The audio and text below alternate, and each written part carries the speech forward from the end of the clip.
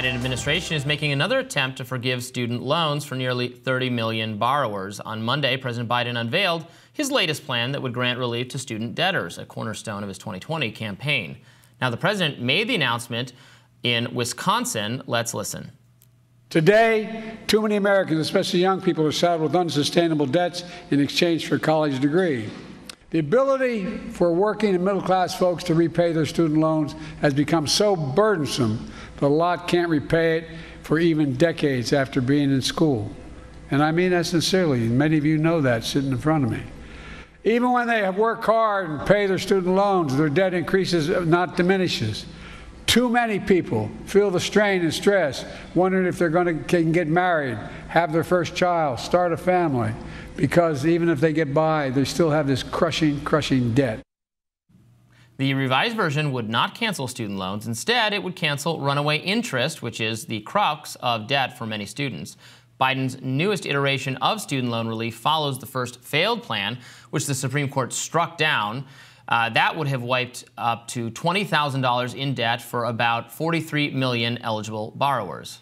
While Washington dukes it out over student loan policy, costs are skyrocketing, with Vanderbilt University gaining the dubious distinction of being the first university to charge $100,000 a year. But according to the New York Times, the university maintains that most pupils will not pay nearly that much. Only 35% will pay full price. Other schools also say the same after discounts and aid are applied. Regardless of whether students end up having to pay that much, it could end up sidelining those who are lower income, who don't know uh, they likely have access to lower tuition costs. We reached out to Vanderbilt for comment, but have not heard back. So the politics of this are fascinating. Biden's choice to announce this in Wisconsin, where the uncommitted vote there just doubled uh, the number of votes by which Biden won narrowly over Donald Trump in 2020 and the number of votes by which Hillary lost to Donald Trump in 2016. So both of those margins were around 21, 22, low 20,000 of, of votes. And the uncommitted vote got 47,000 votes. There's a lot of college towns, a lot of young people there, a lot of people who are very uh, disgruntled with his foreign policy, among other things. So the choice to say, "Hey, I'm, a, I'm announcing a 30 million dollar, uh, 30 million student plan, or 30 million borrowers will be implicated by this plan," is to, seems to be a kind of a, a cope. Um, however, it's worth noting the original student debt plan was supposed to uh, accommodate 44 million voters. Again, remember it was going to cancel 10 to 20 thousand dollar debt uh, of student debt uh, depending on your eligibility requirements. This 30,000, uh, 30 million voter number is admittedly, by their own admission, li likely to double count by a great deal. And I think we should not take that uh, very seriously, take it with a grain of salt, because the people who are eligible again, uh, under different parts of the program, which we should talk about what those constituent parts are, what this program actually provides for, often are implicated by the other parts. So if you are doing a public ser uh, service loan forgiveness, which is a pre-existing program that he's counting toward this. Then you might also be someone who has really high interest rates that have been accumulating over the course. Definitionally, you are someone who has high interest rates that have been accumulating over the course of 10, 20, 30 years, and a lot of the other provisions in this program. This, so politically speaking, this very much feels like Biden does this routinely to you know put a little bit of yeah. cheese on a string right. and say, "Will you run through this wheel, mice? Please vote for me." Um, I don't know if you know your kind of skepticism of this at this point is broadly representative of young people and progressive people. It probably is. So I don't know how much this is doing for him. Um, obviously, policy-wise, you know, we've argued about this a lot. I actually think we had some of our most bitter arguments prior to Israel becoming a daily conversation topic for us on this subject. I'm, you know, totally against forgiving any of this debt, but it's just, and it always strikes me to hear him say to treat this policy like like it is so bad. Like oh, we have all these young people, and I agree, we have all these young people saddled with debt. Um, though many of them who are in the worst shape are, are people who did not complete the college degree, who took on the debt mm -hmm. and didn't even get the boon at the end um, describing this as a sort of policy failure, but it is a federal policy to loan this, to put people in this,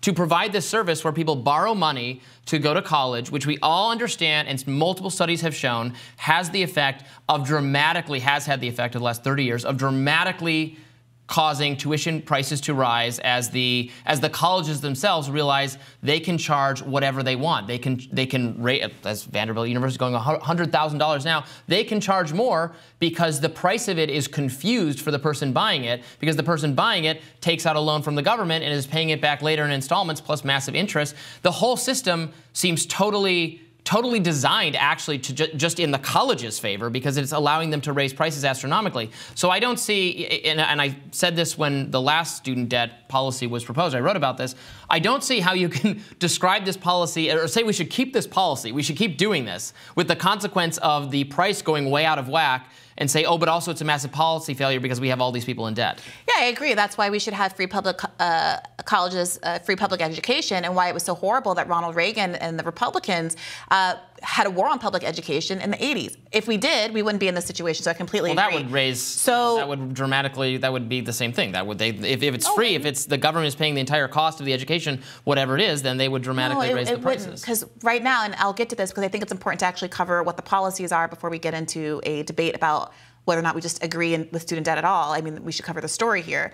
But the the, it is much cheaper just to pay without the interest rates the cost of an education and to get rid of the bloat, if you will, whether it's colleges spending on um, stadiums and other kinds of things that aren't about educating the public, than to pay uh, this loan where the banks are making money hand over fist on these interest amounts. So let's well, get to the government's making money hand let's over fist. let's let's make let's let's talk about um, what's going on here. Because it's not just the government it's private loans and that's part of what's going on here. So the the relief is falling into several buckets. Um, one of the buckets that i'm reading this really interesting a really useful uh, explainer from the american prospect. So what's important to know about this is that joe biden is claiming to be doing a lot of things that are new here but a lot of it is that he's just simply uh, enacting the policies, following through on the policies that have already been passed by Congress, including by Republicans in Congress. So, for example, um, there are people who saw their schools close or promised a useful diploma for obtaining employment that proved to be worthless. This is like the people who were um, given forgiveness who went to Corinthian colleges. I don't know if you remember that settlement. Those, to me, seem to be a very meritorious group of people who deserve um, to get their money back, to not be indebted for the rest of their life when they were defrauded. Um, but again, this is not a new Biden policy. This is just enforcing policies that exist. How do they get it back from the institution?